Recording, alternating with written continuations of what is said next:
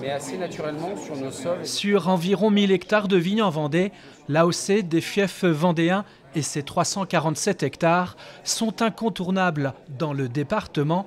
Encore mieux faire connaître cette appellation, c'est la vocation de ce premier salon du vin organisé au château de la Chevalerie à Sainte-Gemme-la-Plaine. On a cinq crus différents, hein, qui sont euh, Brême, Mareuil, Pissotte, Vix et Chantonnay, avec une multitude de cépages euh, qu'on travaille en blanc, rosé et rouge. Donc on a une palette de vins euh, qui sont aussi bien intéressantes pour la période estivale, où on est souvent connu les fiefs vendéens pour nos vins friands, gourmands pour l'été. Et là le salon c'est aussi de faire voir qu'on a des vins de garde, qu'on peut consommer aussi après plusieurs années de, bouteilles, de caves, euh, qu'on peut sortir pour les fêtes. Des vins plus précis, plus complexes. Selon ce caviste, ici à gauche, l'image des fiefs a bien évolué. C'est des vins qui vieillissent bien, qui peuvent vraiment se conserver et, se bonifier avec le temps. Donc ce n'est pas juste des petits vins à boire, euh, ce sont vraiment des, beaux vins et des grands vins qui, peuvent, qui ont une capacité de garde.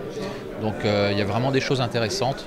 Euh, à découvrir en Vendée. Les vins ont évolué et c'est important de, voilà, que tout le monde puisse redécouvrir euh, les vignerons actuels et les vins qu'ils font. Euh. Que de chemin parcouru pour ce vignoble, devenu appellation d'origine contrôlée depuis 2011. Quand j'étais petit, on m'a toujours dit le vin vendéen, c'est moyen.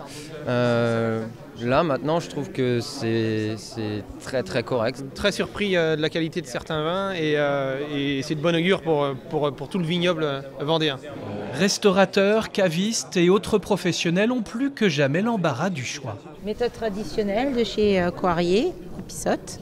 Voilà, donc qui est très très sympa. Je pense qu'on va la référencer. Voilà, c'est très féminin. Une mosaïque de charme et d'authenticité que l'on doit aux 13 vignerons des fiefs vendéens, des vins vendéens de plus en plus présents sur la carte des restaurants étoilés.